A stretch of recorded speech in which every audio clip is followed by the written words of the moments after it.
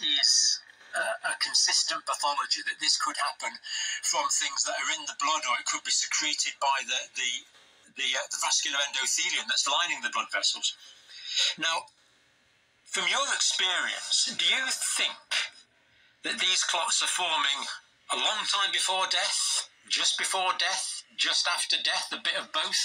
Is there any way we can No, um, let me tell you, nothing carries on growing inside your body when you die. Nothing. Uh, with the exception of perhaps decomposition, you know, as your body begins to break down.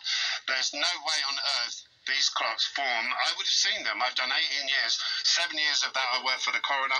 I've got a BIE registered embalmer. I'm talking, I, I have had maybe 60, 70 other funeral directors reach out to me. They've even tapped me on the shoulder at the local crematorium and thanked me for raising the alarm. 60 or 70 Yes, yeah. other funeral Yes, directors yeah, within the industry. seen I've, the same thing. mortuary managers, I've had mortuary managers that tell me the thrombosis deaths have gone up 600%.